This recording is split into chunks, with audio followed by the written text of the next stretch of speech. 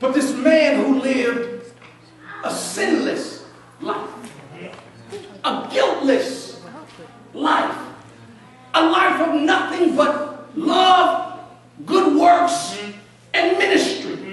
When people were in need, Jesus met their need. It's a good word. When people needed to be healed, Jesus healed them. He even did things he didn't even necessarily have to do, like turning water into wine. But because of his hospitable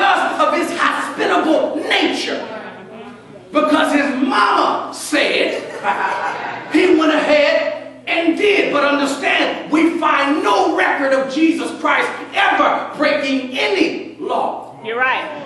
Yet, Yes. it pleased the Lord to bruise him. That doesn't make sense from a human Come on now. intellectual On. perspective. But if we understand the essence that Jesus took on, he hath put him to grief. When thou shalt make his soul an offering for sin. Look, that word propitiation means that Jesus Christ became the receptacle Okay. For sin. Jesus Christ became the garbage can Come on now. to be filled Yep. with all of the sins of the world. And God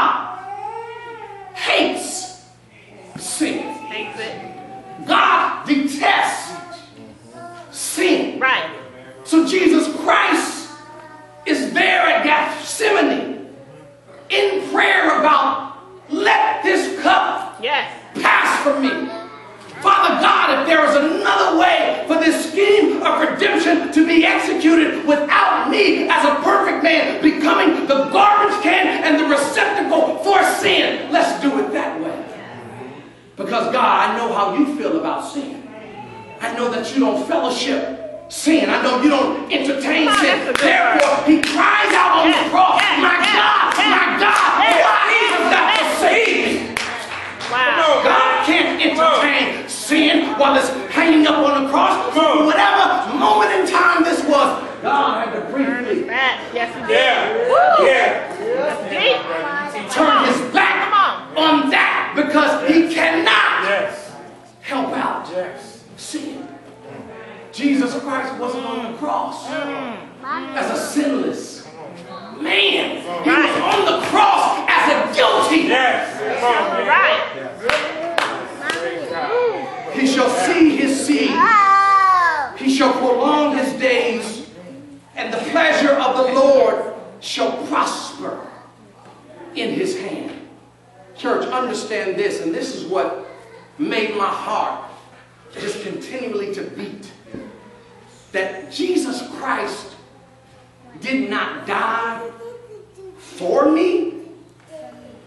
Jesus Christ died as me.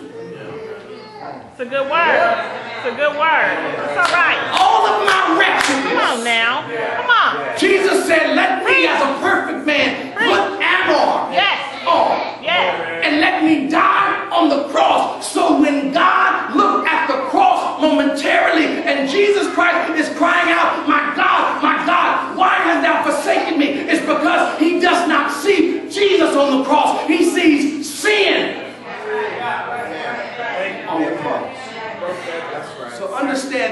Dichotomy. Help us.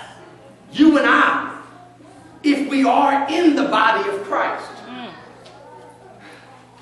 Now, when God looks at us, He doesn't see. Come on now. Make the, make the point.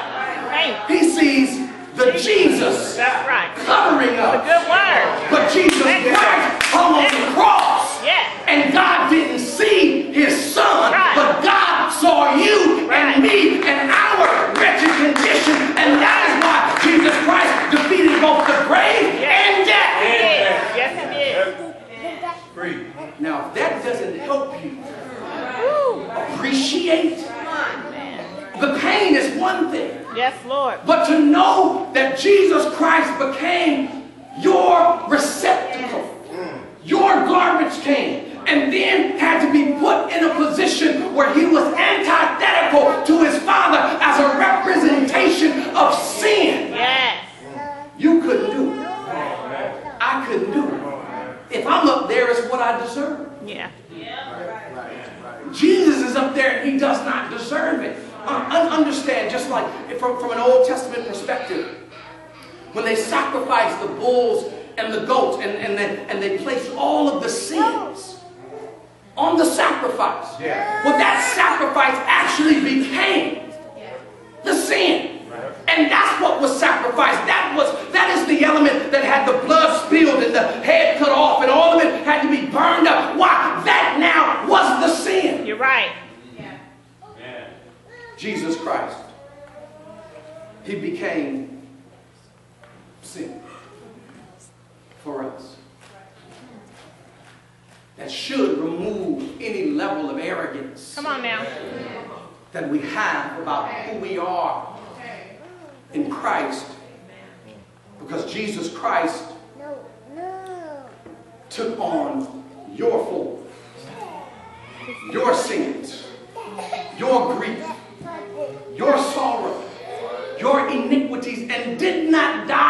cross under the schema of I'm the Son of God. Right.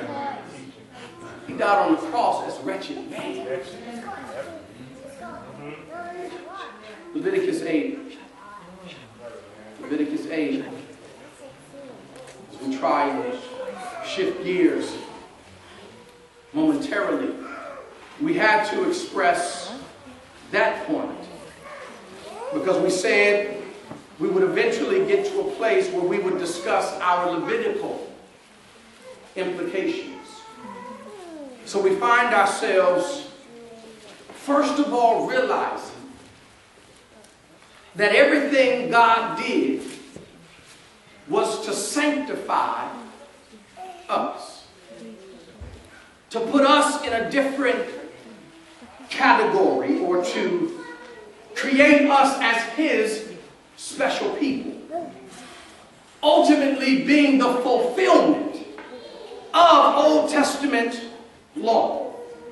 If there was a people that members in the body of Christ represent today, undoubtedly it would be the tribe of Levi.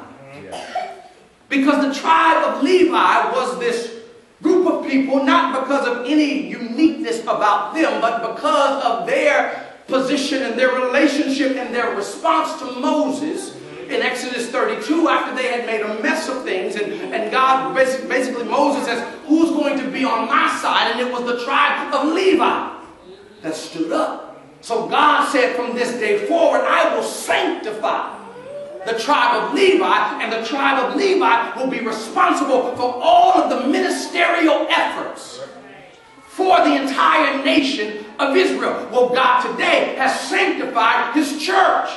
And all of the ministerial efforts that are to be connected to the church, that are be designed, that are designed to save a lost and a dying world, they are to come through the church. So everybody in the church is now representation and the realistic tribe of Levi.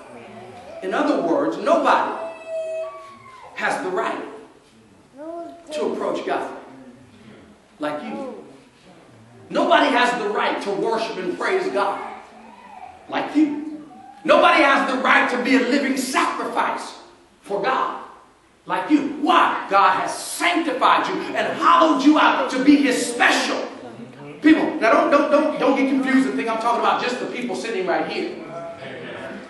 But all of the people that make up the cosmology of the body of Christ, God has sanctified them for his special and unique purpose. Right.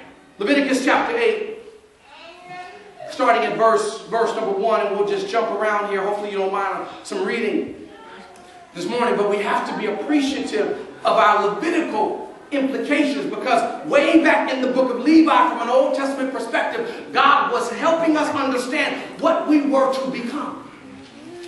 And the Lord, the Lord spake unto Moses, saying, Take Aaron and his sons with him, and the garments and the anointing oil, and the bullock for the sin offering.